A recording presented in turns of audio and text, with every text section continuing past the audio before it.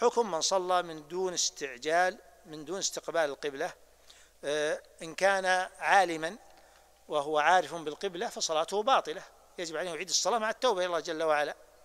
ولكن إذا كان صلى في البلد وبلد الإسلام وهو قادر على أن يعرف القبلة وصلى لغير القبلة وانحرف عنها انحرافا كاملا يعني هذا القبلة غرب صلى شمال أو صلى جنوب أو صلى عكس القبلة إلى جهة الشرق صلاته باطلة ويجب عليه إعادة. أما إن صلى بانحراف يسير لجهة اليمين يعني صلى غرب شمال أو غرب جنوب بانحراف هكذا. لم يصل إلى درجة الشمال ولا إلى درجة الجنوب فصلاته صحيحة صلاته صحيحة. أما إذا كان مسافرا في بلد غير مسلم أو في الصحراء في البر فيجب عليه أن يجتهد فإن أصاب فالحمد لله وإن أخطأ فصلاته صحيحة. وبعض الناس أنبه له تنبيه هنا مهم جدا.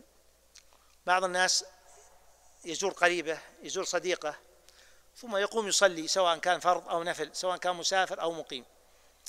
يصلي القبلة هذه غرب فيصلي شمال. فيأتي صاحب البيت ويعدله إلى جهة القبلة. هذا لا قيمة لهذا التعديل.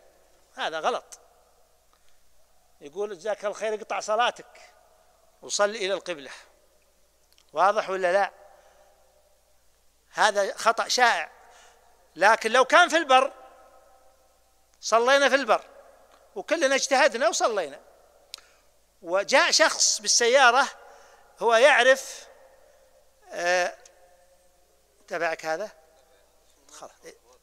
مكتوب هنا يا شيخ السؤال سؤالي هو لا خلاص. ما خله ما يضر ما يضر. في دراهم هو؟ شيك؟ لا لا مو استر خلاص استر. أنا على حسابي ما عليك. لا تشغلنا الله يحفظك. فعندما عندما يصلي الإنسان لغير القبلة في البيت فأنت لا تعدله قل له يصلي إلى القبلة. وأما إذا كان في البر في البر في الصحراء أو في بلد كفار ما هي بلد مسلمين ما في فيجوز أن تعدله. يجوز لأنه يجوز الاجتهاد في مثل هذه الحالة. أما الاجتهاد في بلد المسلمين ما في اجتهادات. لا بد أن تتأكد من القبلة.